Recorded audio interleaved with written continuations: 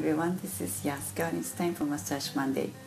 This week I'm going to show you one of my favorite back massage moves using a forearm with the receiver on the massage table. My clients love this move too. Stand by the receiver's head. Locate the edge of the shoulder blade.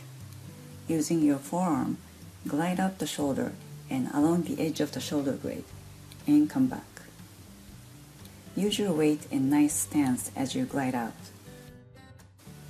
If the space between the spine and shoulder blade is narrow and your arm is much bigger, I do not recommend this technique as bone on bone hurts and you do not want to press on the spine or the shoulder blade with the bony part of your forearm. After several times of this, I then glide all the way to the lower back and massage the waist in a sawing motion. Again, if the space between the hip bone and the rib is narrow and your arm is bigger, I do not recommend this technique.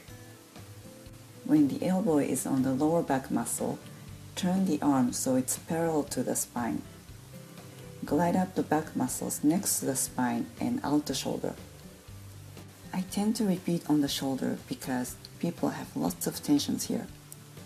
You can also use the other forearm to massage around the shoulder blade. Sometimes the back muscles are very tight and slippery.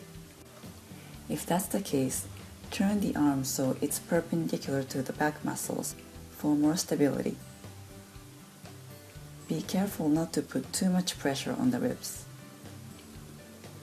If necessary, cover and protect the spine with the other hand so you do not massage on the spine.